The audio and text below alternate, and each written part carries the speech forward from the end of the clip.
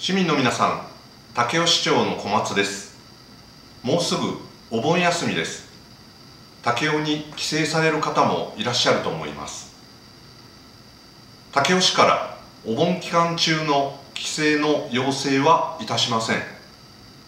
ただし帰省される方そして市民の皆さんお一人お一人がしっかりと感染予防を徹底していただくことが大事です。正しく怖がる。これが毎回言ってますけれども大事なことです。マスクの着用手洗い消毒そして人との距離を取る。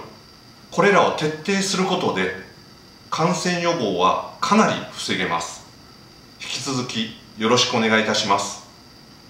また飲食についてですけれども飲食そのものが悪いというわけではありません。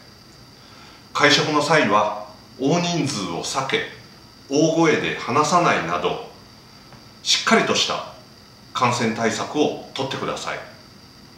特に高齢者の方や重症化リスクのある病気をお持ちの方そういった方々への感染につながらないようにお一人お一人の確かな行動をよろしくお願いします。各家庭でそれぞれ事情は異なると思います。こういった対応が難しい場合は規制を含めて慎重に対応してください。また発熱等の症状がある方は規制を控えていただきたいと思います。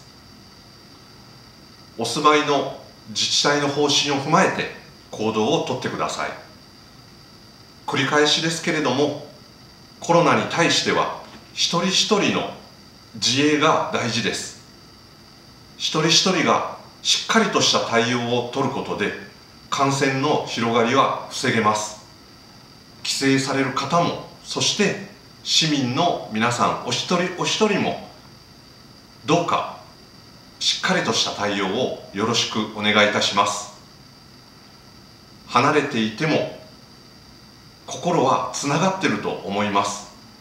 会えれば言うことはないのですけれどもさまざまな形でつながりを保ちましょう。よろしくお願いします。